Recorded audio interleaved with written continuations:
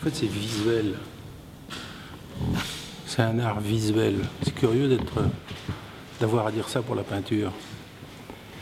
Même si parfois il y a des euh, fondamentaux, il y a un background littéraire, où il y a une histoire, une dimension narrative, des images mobiles, des citations, il y a des entrées latérales multiples pour construire mentalement le tableau. En vérité, au moment où je le fais, c'est très très plastique. C'est pas du tout ni conceptuel, ni ça touche le, ça passe évidemment, ça touche l'essence et l'esprit, mais par la vue presque seulement.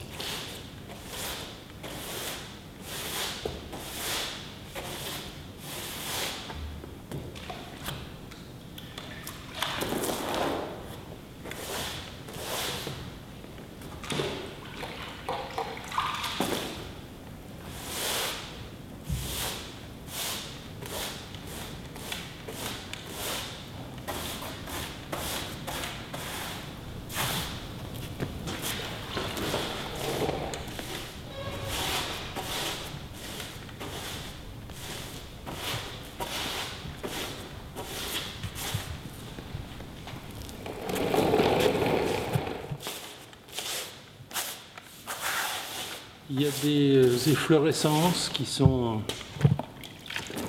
un peu comme du pollen, euh, parce que le tableau sera blanc à l'arrivée, surtout blanc.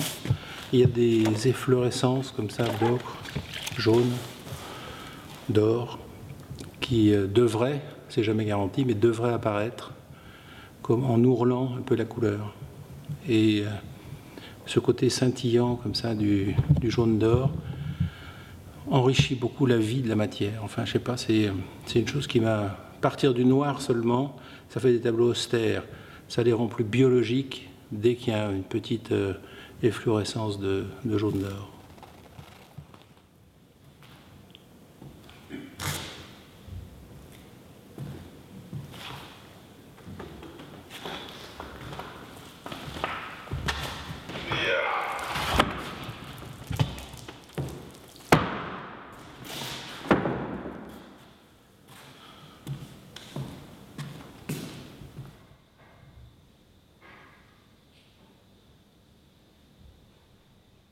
Je pense que ça va bien.